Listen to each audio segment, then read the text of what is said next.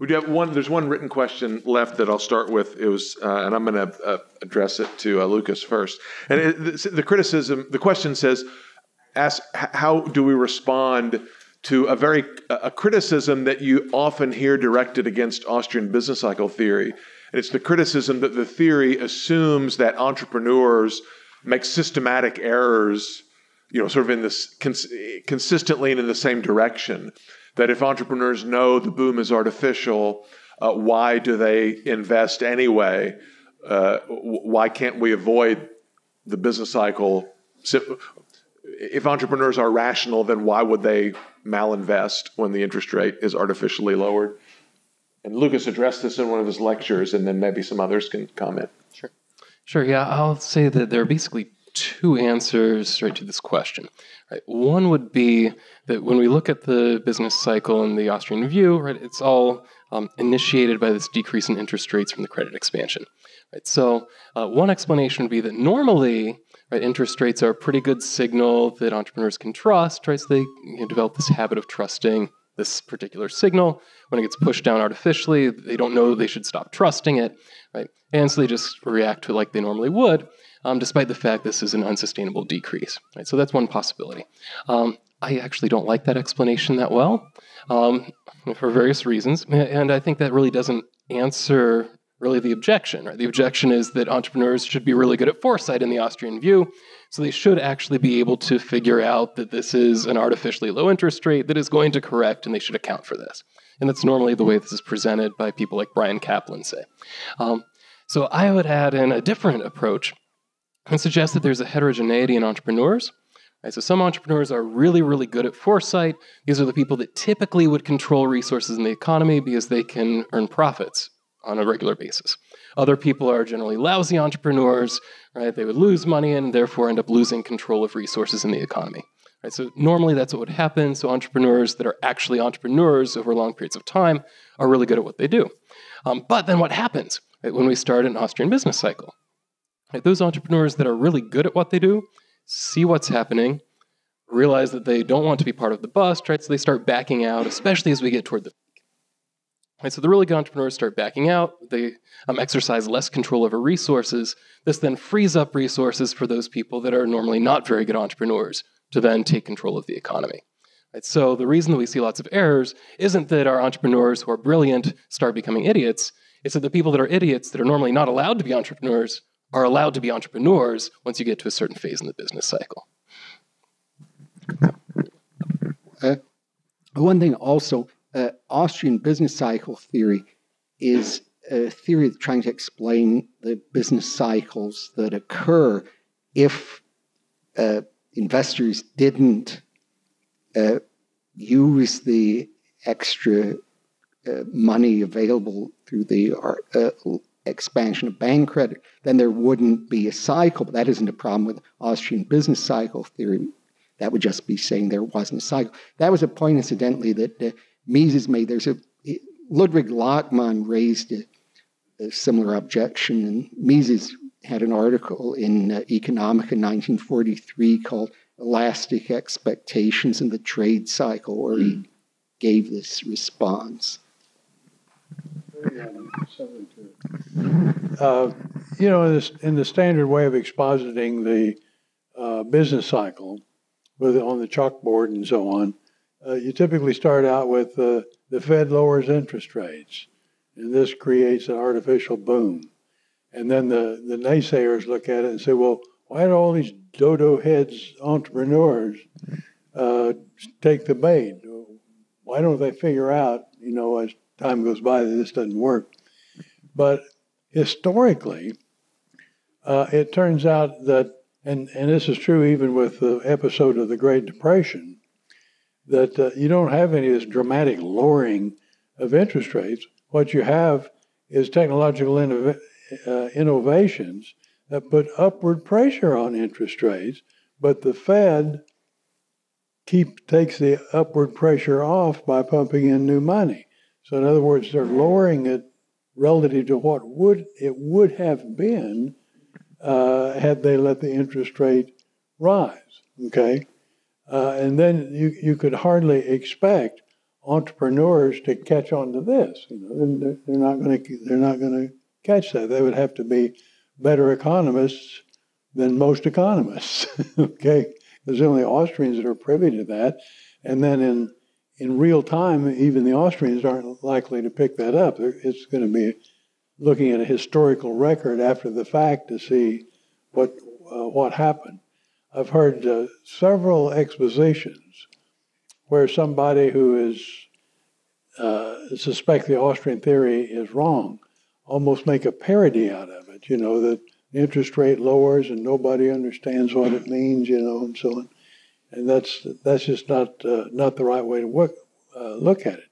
And by the way, I think I might have said this in an earlier lecture, but uh, in some give and take with Milton Friedman on the issue of business cycles, uh, he sent one letter that had attached to it uh, a plot of movements in the interest rate during the boom. And his whole point was, see, it didn't change much. You know, so that, so so much for the Austrian theory of the business cycle. When when the uh, issue really is that it would have changed, it would have risen uh, as uh, technological developments cause entrepreneurs to want to borrow more money to take advantage of those developments. Uh, and for that reason, we got a business cycle. Um, is this working? Yeah. Uh, I want to add uh, uh, something about behavioral economics, which I've been convinced um, as time has gone on is important when it's um, used within the framework of, of, of, sound theory. So there's an economist, Brendan Brown, who's written on um, a number of books that are very Austrian oriented. And he points out that in every cyclical uh, upturn, there is a, a, very convincing story that is told that entrepreneurs buy into. Uh, and first of all, they don't know Austrian economics, right? They don't have a model of the economy in which the Austrian theory applies in their heads. And so in the 1990s, after 1995, that speculative story, which was accepted and then and disseminated by Greenspan, was that we're, we're living in a new economy where um, productivity is increasing tremendously. And entrepreneurs bought into this. I mean, they're, they're, they're not economists. Uh, and many economists bought into this. And then later on, with, with the tech bubble in 1998, 1999, uh, th- there was another speculative story to, to, to support investing in companies that hadn't returned any profits whatsoever for, for the last two or three years. And then in, in, in the mid 2000s, before the, two, the uh, during the run up of housing prices, there was a speculative story about the insatiable um, appetite of, of, of, Chinese and others for, for U.S. capital, and that this savings glut was going to keep keep the boom going. And entrepreneurs, they, they, they read the papers, they, they, they read the media, and they buy into those things. And, and those are things that can cause the boom to be longer or shorter. And I think that's important to look at this stuff. There's a very good book by um, uh, Brendan Brown called um, The Global Curse of the Federal Reserve, in which he, he shows that the Fed set off these two booms in the 90s and the 2000s and what speculative stories were told. He has a number of them to keep the boom going. Mises alludes to this very point in the 1943 article, too. He says something like, uh, you know, well, the reason entrepreneurs are not better than they are at anticipating, uh, uh, you know, the, the, boom is because they've been taught Keynesian economics. I mean, because Keynesianism in 1943, this is what they have been taught, this is what they have learned, or, or non Austrian business cycle theory. So it's like entrepreneurs, the, the criticism that the questioner raises assumes that the behavior of entrepreneurs is independent of education, independent of what theories are popular, independent of the culture, and so on. I mean, if we believe in this criticism, that should simply make us want to double our efforts to teach sound economic theory. So, other, other questions or comments? Jonathan. Uh, what's the difference between Hayek 1 and Hayek 2? Is there a Hayek 3? And what did Rothbard think about all these people? Joe, do you want to start with that? Or David? Well, the I think the Hayek 2, uh, this, there was a economist Terence Hutchison who came up with that. See, what had happened was uh, Hayek, of course, started as an Austrian economist under the influence of Mises. And Hutchison claimed that, see, in the uh, 1940s, when Was professor at the London School of Economics, uh, Karl Popper, I think after World War II, became professor there also. And he and Hayek were friends. So uh, I think Hutchison claimed that Hayek had rather converted to Popper's philosophy, which is very different from praxeology. So that's the Hayek 2. Now, Hayek 3, uh, some people say that there, I think there was a, a Cambridge writer, Fleetwood, who said that Hayek had abandoned methodological individualism and he was more interested in the complex structures of organizations. I tend to be rather skeptical of these various changes. I think Hayek maintained at least his version of Austrianism throughout. And I can tell you, when I was in his class in 69, he certainly didn't abandon methodological individualism. That was fairly late in his career. Uh, if you, Jeremy Shearmur has written on that. Also, he would be a good one to read on that. David, is your skepticism is that Gordon one or Gordon two? well, I, I see you've got my number, but I'm not sure which one it is. I want to add something to that. I mean, I think many of us would think that the, Hutch, uh, Hutch, the Hutchinson distinction is a little bit superficial anyway. That, and this relates to what David said. Um, Joe has written some good pieces on on Hayek. Uh, uh, Guido Hülsmann has ex- done a very nice exposition of this point in his Mises biography. That you know Hayek from the from his earliest days was not completely a Misesian as we would, as most of us are, that Hayek and Hayek's contemporaries were highly influenced by Schumpeter, m- more influenced by Schumpeter than by Mises, at least kind of methodologically. And I mean, there's a sense in which you can call the early Hayek's work sort of praxeological, but um, it's still very Walrasian. Um, and w- isn't that your term, Joe? That Hayek is a Walrasian, verbal general equilibrium theorist, yeah, tradition yeah. of Wieser.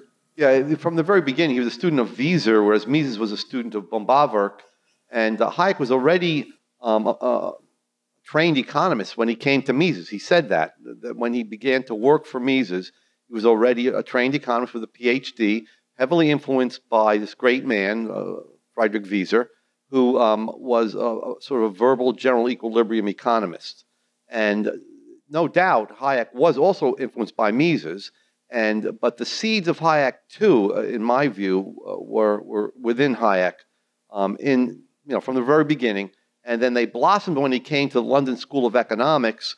Uh, there, he uh, urged uh, a bright young British student, um, John Hicks, uh, and one other student, um, I think it was Abba Lerner, to read Pareto, who was a, a mathematical general equilibrium theorist, and that was un- very unfortunate because it led to a revolution in economic theory that by 1939 had completely submerged the Mengerian tradition, the tradition of Carl Menger. And I, I, think went further than Hayek wanted it really to go. Um, because I think in a later interview he said something like, well, if you like that kind of thing, uh, Paul Samuelson has, you know, is a culmination of all this. And Samuelson's book on foundations was completely mathematical. So I, Hayek was trying to isolate the part of economics he called the um, uh, theory of choice. What was it called?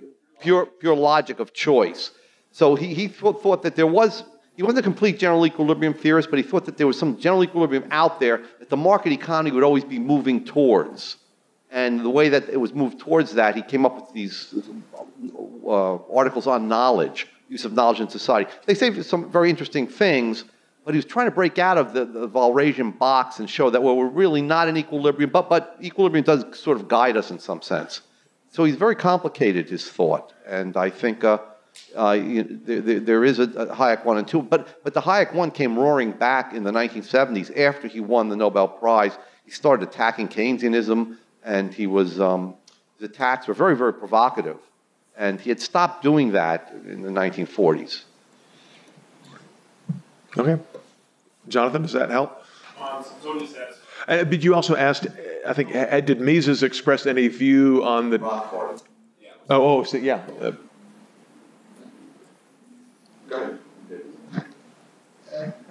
I'm not recalling that Rothbard ever said anything about the Hayek one, two, or possibly three. He was tended to be quite critical of Hayek's views, especially in some of his later work. He tended to view Hayek as rather an irrationalist. Uh, Joe has written on this so I'll Yeah, there was a, a a footnote in one of Hayek's articles. I can't remember if it was the 37 article, Economics and Knowledge. It may have been that article, um, which Mises liked very much. Um, and, and, and Hayek, later on in his autobiography, or his sort of memoirs, uh, said something like, well, Mises didn't realize that what I was saying in that footnote was really uh, attacking his position. So uh, Murray was not very happy with that. So he, he he made some remarks about, you know, Hayek not being fully ingenuous when he, you know, wrote that footnote. yes, please. My question is about uh, the gas knowledge. Uh, there's some debate about whether uh, human actions uh, are driven by rational or, or whether it's driven by desire. So what is the, uh, the answer um, in terms of gas theology? Well, you see, the way Mises uh, used rationality, it's an extreme. Oh, the question was, is in praxeology, is it assuming that people are motivated to act by rationality or by desires? Does praxeology have anything to say on that question? Well, the way Mises used the concept of rationality, it's extremely easy to satisfy. He thought all action is rational because the actor has a, a goal and he's using means that he thinks is appropriate appropriate to attain that end, even if they aren't or not. I don't think there'd be any contrast with desires. Now, on one way to understand action, which is, is popular in philosophy, I think Mises accepted that accepted this to, explain an action, you have to have the actor's beliefs plus his desires. So all action would involve desires. There wouldn't be any contrast between reason and desire there. Yeah. Uh, yeah, please here, and then we'll. Okay, my question is also on praxeology. Um, and I, I don't understand why it has to be broken down to a single individual. Like each individual has conflicting desires and things they have to weigh, and so would a government, for example. And I thought kind of the idea was um, to see what actions are taken. Um, so I'm used to like in game theory where you can compare people or governments or something. So I think I missed some theoretical part of that or some point. I'm kind of curious if you can help me clarify. I'm not understanding your, your question. You say is why you would have to explain everything just by reference to one actor. Is I thought, I I thought it was broken down to the individual always. Oh, well, it, it's always individuals who are acting, but it isn't that everything that you're explaining is in terms of what one individual does. I mean, you can have things that happen that involve all sorts of different individuals. I mean, in any uh, sale, there is a buyer and a seller. That's two individuals. So, I mean, is your question you think that praxeology would just be one individual? I'm not. Things like government, and you're talking about things like governments and institutions. Oh, well, I mean, they would, you, you would certainly have, you could certainly have uh, governments doing things, but that would have, or that would have to be cashed out in terms of individuals who are acting. But you would certainly have, you could certainly have cases where you have to bring the institution into the explanation. That's quite Uh, there may be particular. theology. I mean, there may be particular problems where the level of, where you don't need, you know, ha- ha- what level of reductionism you need may sort of depend on the problem. So just for shorthand, you know, we say all the time, oh, the Fed lowered the money supply. I mean, technically speaking, that would be a violation of methodological individualism if we if we said, well, the Fed is a single actor. No, the Fed doesn't act, but that's just shorthand for saying, well, the open market committee met and there are this number of members and this is how they vote. Then they gave it voted. Then they gave instructions to other Fed employees who clicked certain buttons on their computer and so forth. I mean, but but you know, sort of between friends, we know that's what we mean when we say the Fed lowered the interest rate, and it doesn't really it's not harmful to our explanation. But is that what you mean, or That answers it, because I was kind of under the impression you could not explain an action like the Fed lowering interest rates.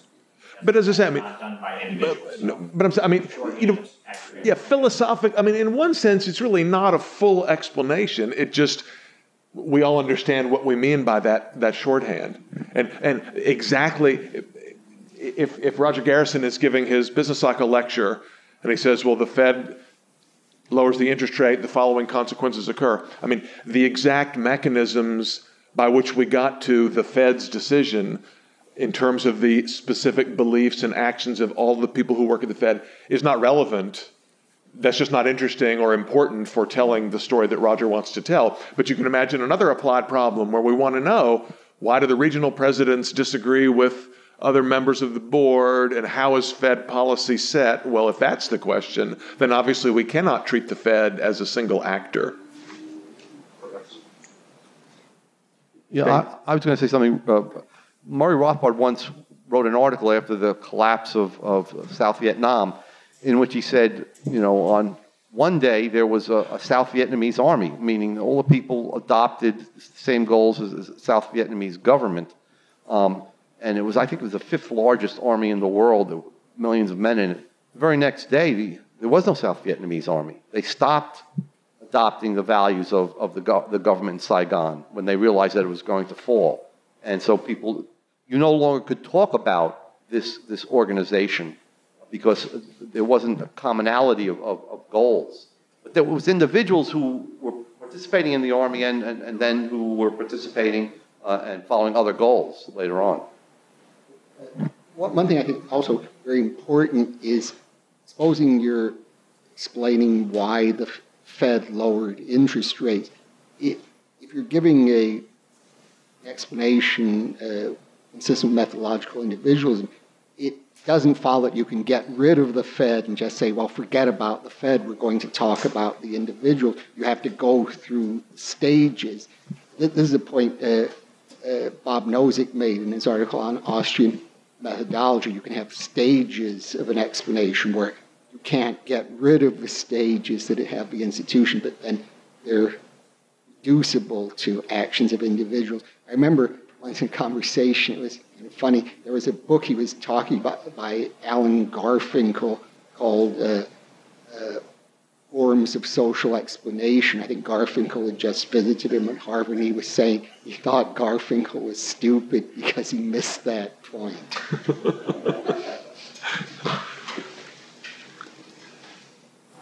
I researched about uh, Seattle uh, comprehensive plan and uh, Seattle City supports uh, industry policy to create an economy of scale to expand specific industry like uh, Boeing or Microsoft. So according to this plan, Seattle City they have a right to invest uh, subsidy to some specific industry. And uh, the Japanese local city pretend uh, the Seattle City's uh, same plan. So I think Fukuoka City, Fukuoka City now try to create a new uh, industry policy and uh, so, and to begin a new business. And uh, my my friends uh, uh, entrepreneurs think they have a right to get the subsidy from the local government, but uh, I don't think so. So so, so problem is. Uh, think also economy can create economy of scale with uh, subsidy from local government? And uh, how, how is the appropriate way to it? So, so are are you asking, do we think that a kind of like infant industry argument with increasing returns is a valid justification for state subsidies for industries? Uh, so like, uh, What, what's your question? so point is, so like a Boeing or Microsoft ha- needs uh, some big budget to begin new business because they can't begin. Uh, they can't create an airplane or Yeah. a computer with a very short budget. So then they need some appropriate big budget, and to, Yeah. to, together it's, they need a subsidy from from the government.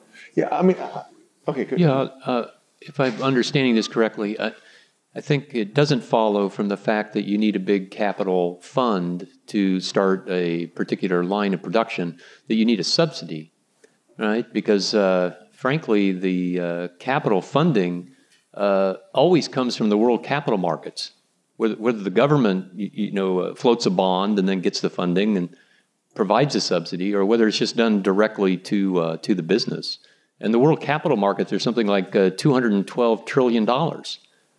And so, so there's plenty of funding, in other words, to, to build a new airline or to, uh, you know, have a, you know, to start a new auto company or, uh, and we see this sort of thing all the time. So, so I don't, I don't, I don't think it's a very good argument, uh, in, you know, to, uh, to justify government subsidies. Is that, was that the question? Uh, so this is a very specific problem for Japanese, but people can't get direct finance, Equity. di- direct equity Oh, equity. from investor Right. because uh, so it means if we want if we want to begin new business in Japan, we, we have no just but to like, borrow money from the bank in direct finance. So it, so and the Japanese bank have no talent to, to be distinguish what kind of um, entrepreneurial success. So it's a very.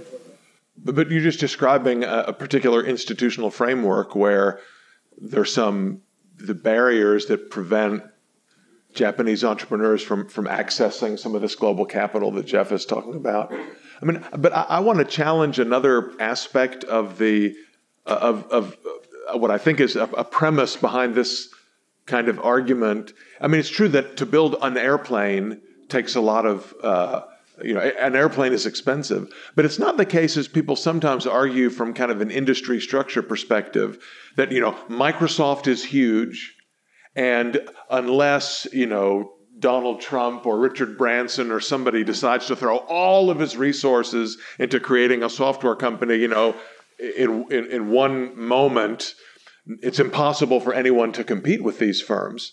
They have a de facto monopoly simply because of their size. Therefore, we have to break them up with antitrust or whatever. I mean, I was just thinking about airlines. I mean, th- that argument assumes that the only form of competition is sort of full, direct, head to head, multi market competition in every market in which the incumbent is currently active. But of course, you can have all kinds of small competition that kind of nibbles around the edges, and potential competitors can get very large and successful by doing that. Even if you think about airlines, I mean, the only profitable US airlines are Southwest and JetBlue and some of the small regional carriers that exact that do not compete head to head with the legacy government subsidized carriers. Um, if you think about air, airplanes themselves, I mean, yeah, there's in the market for gigantic wide body jets, there's two companies, Boeing and Airbus, both of them heavily subsidized by governments. But I mean, if you look at smaller planes, there are um, you know firms that started out making the little regional planes like Embraer and the Canadian one. They're, I mean, they get government subsidies too, but uh, you know they now are building bigger and bigger planes that compete head to head with the smaller planes made by Boeing and Airbus. And there's no re- reason in principle why those smaller companies could not, if they want to, begin to build jumbo jets or larger jets and so forth. So, and they started out with nothing. They started out small. So there already were powerful incumbents, but new firms entered the market, started doing small things, competing on some margins with the incumbents, but doing it very well and being more profitable and growing. And then eventually get, they get to the point where maybe they topple the incumbent. So not only do you not need a subsidy to be in that business, but you don't need a subsidy or you know government antitrust an antitrust lawsuit to get into the industry where you could eventually compete more head to head. Uh, Please. So throughout this week, we've been taught about what the Austrian schools come up with and like they found out. And my question is, what are Austrians still trying to figure out to this day about like how the world works and like what new fields of economics like we still haven't really touched on? I think one of the, I guess one of the uh, interesting questions that uh, the world will face, at least it appears that the world is going to face uh, pretty soon, is uh, monetary reform is some what exactly will the configuration of the world's monetary system now how will this develop? And uh, you know will we get um, a variety of uh, so to speak experiments on the part of uh, states uh, in various or private initiatives uh, that would um, uh, you know try to address the problems of the the, the dollar system or the problem that the euros been facing and so on. So I think that's a pretty live area for us to uh, continue to think about and to uh, research with respect to um, you know a variety of different possible um, entrepreneurial uh, ventures that would that would uh, provide a solution to the monetary problems of the world. Think, uh, following up on what Jeff said, uh, this war on cash that states have undertaken, particularly Scandinavian states, but, but also Italy and France, uh, with, under the cover of the war on terror. Uh, I think we have to talk about that. I think we have to analyze the long run effects of that. Uh, there's now, you know, Ecuador sponsors has, is the only country that has a state sponsors sponsored electronic money um, system in which people can use cards or, or mobile phone to mobile phone means to pay. And, that's a, and, and all banks are forced by law to, be, uh, to, to provide that service. So what they're trying to do is, is to digitalize all money and, and get rid of cash. That's pretty clear. And they're doing that for two reasons. One, they want to track all of you, they want to spy on you, and uh, all of us. And, and second, they, they want to prop up their unsound banking systems, which you know are, are shot through with moral hazard. And so, if there's cash that you can withdraw, then you can bring these uh, large banks to heel. But but once all, all, all transactions have to go through the banking system, then reserves are just moved around. There isn't any way to drain the reserves out of the banking system and, and, and to rein them in. So I think this is a very important area of research for economists. So far, I've really been one of the few that have been doing it, and I've also noticed that journalists are picking up on this, and the, the word war on cash the term, war on cash, is being used more and more. I think two areas that I have in mind kind of fall under one broad category. Um, that is, how does the knowledge that we have as Austrian um, economists interact with some current fields that are more mainstream? Right. So uh, I think something I've just gotten interested in recently is the interaction between what um, urban economics or land use economics? How does that, um, what insights do we have as Austrian economists that know about business cycle theory? How does that then interact with, say, land prices and the like in the way that's often treated um, by the mainstream? Um, I would also include under that, as um, Dr. Salerno mentioned, like what does behavioral economics tell us about people's behavior? Right. So in a sense, it's not doing economics strictly speaking as praxeology, but it does tell us something about the way people behave and make decisions. Um, and I think thinking about how these things relate is a useful field. Uh, one thing that I think has changed about application of the Austrian theory uh, is the concept of just of just where uh, the new money goes when the interest rate is lower, and uh, I've sort of caught on to this when I had uh, some student somewhere, I don't remember where it came from, but a question out of the blue had to do with uh, Fritz Machlup's um, exposition of business cycles, and he says that that uh, new money uh, through cheap loans always goes into fixed capital. Uh, this is a more roundabout process and long-term, durable, and so on. And that was probably the, about all you had to say at, the, at that stage in the game. But uh, in recent years, when we've needed to broaden the idea about what uh, where that money goes, Uh, it goes into interest sensitive areas for sure. But and of course, fixed capital used to be the paradigm case of that. But uh, more recently, uh, it, it goes it could go into to all sorts of uh, software uh, uses.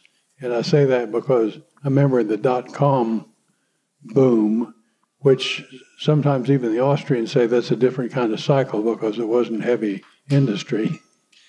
But in fact, uh, it, it, was uh, an Austrian business cycle in the sense in the sense that these companies had to build market. That was the term that was used. You had to build market, which means essentially you've got to operate with losses uh, until you can get your software uh, to be uh, more widely used uh, in order to make it profitable. Uh, and you do that by absorbing those costs with borrowed funds. and so, and so simply building market uh, constitutes long-term investments. And so a lot of it is just is just realizing how uh, that Austrian theory applies, depending on just what what the economy looks like. I'll add something too. those these are all uh, macro business cycle topics, but just on the on the micro side, you know, I've thought a little bit about how would production theory and our analysis of the productive process be changed by some uh, of the very interesting kinds of technological innovation that we see. You know, nanotechnology. Uh, what about 3D printers? right? I mean, a lot of times when we analyze industries and we analyze the effect of changes in demand on industries, I think this was in one of the exam questions. You know, usually we treat human labor as a relatively less specific factor than many kinds of capital goods, and labor is more mobile than most kinds of capital goods, and so we think that, for example, when you know demand decreases, uh, wages will not fall as much as rental prices of capital goods because labor can move to other uses and so on. Well, what if most of the capital, you know, is produced by 3D printers or something? Uh, maybe maybe a 3D printer is actually less specific than most kinds of skilled labor, and so in trying to analyze the effects of different kinds of industry changes on wages and on capital goods prices, it may be that we have different kinds of capital goods now that have different properties from the sort of more conventional ones. Uh, they have uh, you know, many more potential uses than the typically kinds of specific, the narrower set of uses. How does that affect the structure of produ- production in the economy? There may be some business cycle implications for this more kind of flexible capital. I mean, I don't know that anyone has really thought this through in a very systematic way. I mean, notice that nothing that anybody has talked about yet is about sort of fundamental alterations in the underlying theory, but how the theory applies to different contexts. I mean, that's always changing, and so there's always new problems to be solved uh, because of institutional changes and political changes and technological changes and so on. This gentleman was next, I think. Um, so my question is. Uh, I, I've been hearing this term, and I guess I just don't know very much about it. What is quantitative easing, and what what are some like? I assume there's some sort of Austrian fatigue. Roger. Yeah, quantitative. Can you get a microphone, please? Where's my microphone? There you go. yeah, that's a term that sort of rubs me the wrong way I, for some reason. but typically, typically, before quantitative easing, uh, when the interest rates were up around maybe three or four percent or something like that, uh, you you could uh, the Fed could push those interest rates down by pumping in money, and they and they did that to the point where interest rate just got as low as it could go. Uh, and so if they tried to pump in more, they could pump in more. They did pump in more, but it didn't change the interest rate. It was already right down there against zero. And so that's when they started calling it quantitative easing. In other words, it was just that they're going to push more money out there despite the fact that it doesn't have any effect on interest rates. So that's, I mean, that's literally what the term means.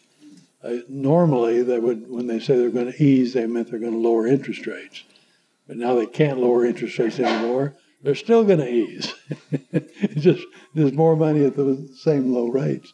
So there's just a terminological thing that it's an issue here.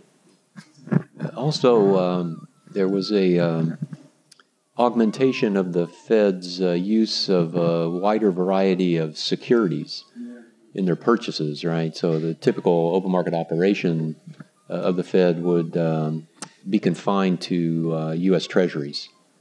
So they instruct the New York Fed to purchase U.S. Treasuries and then provide the liquidity to the financial uh, markets uh, from that purchase. Uh, with QE, they widened this out and they they bought uh, almost two trillion dollars worth of mortgage-backed securities, uh, as an example. They bought a lot of you know treasuries too. So so QE that, that, tends to be what we think of also, at least empirically, when when the term QE is uh, is used, it, it, tends to also have this implication that the Fed is widening the scope of securities that it, it will uh, purchase or sell. Yeah, just just as an aside, the Federal Reserve Act and the other documents, the, the statutes that have amended the, the regulations, the rules uh, uh, that, that, enable and constrain the Fed, you know, specifically limited the Fed's balance sheet to holding treasuries. The Fed was only legally allowed to hold U.S. treasuries, but there was this little escape clause, you know, except for you know unusual uh, circumstances in, in an emergency, the Fed can hold other assets. Well, I mean, that's a, you know, a loophole that you can, wide enough to drive through, you know, a semi truck or whatever. And so they jumped upon that in 2008 and started adding, you know, huge, all kinds of securities in huge quantities to the balance sheet. Uh, yes, please. Um, you, you, said earlier about 3D printing. Uh, does 3D printing decrease uh, decrease the amount, uh, this, the quantity of the stages of production and if so, does the, do the Hayek triangles allow for a decrease in the stage of production and an increase in the growth of the economy? That's a question for Roger Garrison. Yeah, that's right. I'm not sure I, I'm not sure I understood the question. 3D. So if, yeah, I mean, so, so immediately produce any co- complex good in one step, pushing one button. Well, no, before you say that, you'd have to look to see what, what's the whole process of creating the 3D printer. It, uh, obviously, once you have the 3D printer, then, then it's just no time that you can get, get an output from a certain input. Uh, but uh, overall, you'd have, to, you'd have to look at what are the inputs to the 3D printer. And that, that could well lengthen the structure of production. Okay? But of course, it involves a change in technology, so we really can't say whether it lengthens or shortens it until we look at the particulars. And just keep in mind, you know, the biggest input is software. And it may be that it takes a long time to write the code that enables the 3D machine to produce some complex piece of machinery or whatever. Other questions? Yes, please. So um, both of you, uh, two, you mentioned the uh, uh, behavioral economists, um, and my view is actually, I think, been very easy on this, uh, in that generally I think they are trying to, looking at somebody's actual preferences and trying to ascribe judgments to them as far as, well, you shouldn't have bought that, you should have bought something else. So, but I guess I could see from a, uh, maybe an entrepreneurial trying to explain mistakes, kind of standpoint why we might want to study that. So I'm curious if there's any scope that you think that has in this, or where we can avoid um, starting making judgments about other people's actions as to you shouldn't have done that. Does that make any sense? Yeah. So, so Mises wrote a book called Theory and History in 1956 that I highly recommend, and it talks about how you really apply economics to history. And he talked about, uh, he, he um, used the term thymology to indicate that you have to, not only do people have insights into one another when they act in the real world, that is, they have to understand one another, but that when the historian is, or the um, applied economist is doing economics, we have to understand the uh, goals and the ideals and, and, and even the quirks and so on of, of let's say, Alan Greenspan in, in, in, the way he runs the Fed or, or Ben Bernanke. Uh, and I think behavioral economics, when it's properly used, can um, deepen our insights in some cases, as in the case of these speculative stories that I think are very important to keeping the boom going. And I'm going to add to that. There's a lot of truth in the way that it's actually used. Um, behavioral economics is a science, and the, you know, trying to get into what are people's preferences actually like, I find generally unobjectionable. It's basically a version of thymology. Um, but then what, what really ends up happening a lot of the time is that people have taken moral imperative that people should act rationally according to the neoclassical definition, and then the behavioral economists prove that people don't. So then the question is, what can we do to trick people into acting rationally? Right? Rather than just accepting maybe people are loss averse because they really hate losses, and that's okay, right? Maybe there's nothing wrong with this, right? So uh, seeing behavioral economics as a critique of kind of this mainstream definition of rationality, I think, is very useful. Um, using it to try to understand human behavior is very useful. Once we start adopting that mainstream notion of rationality as a moral imperative, that's where we start running into problems. I also want to add I mean, I agree with what my colleagues have said about behavioral economics per se and how it can be useful. But I just want to add, as a, to be a little more cynical, you know, as a sort of empirical institutional matter, the current field of behavioral economics, I think, is massively bloated. There's a lot of malinvestment in that field. It's a fad, and a lot of the research that's coming out of behavioral economics is, you know, coming up with bizarre laboratory scenarios. To, to reach conclusions that are either uninteresting, not useful, or totally obvious to anyone who has done any thymology whatsoever. Um, like like Dan Ariely, I think is the most. I think his stuff is is pretty useless. Um, but he specializes in trying to use clever lingo to act as if he's come up with some new insight that, in fact, anybody in that specialized field of applied economics has already known for 50 years. So that's a good note to close on.